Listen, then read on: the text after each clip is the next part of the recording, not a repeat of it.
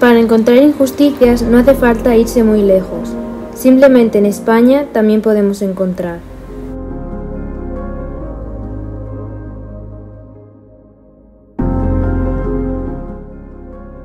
¿Es justo que una persona sea juzgada por su físico?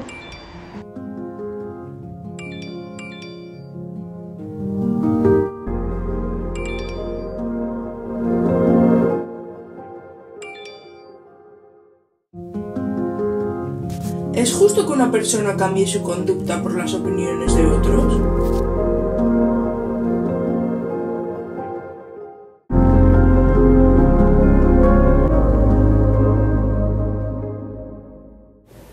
Las injusticias nos rodean, no importa el lugar donde estemos, siempre están ahí. Y marcar la diferencia es tan sencillo como dejar de mirar hacia otro lado y fingir que no están.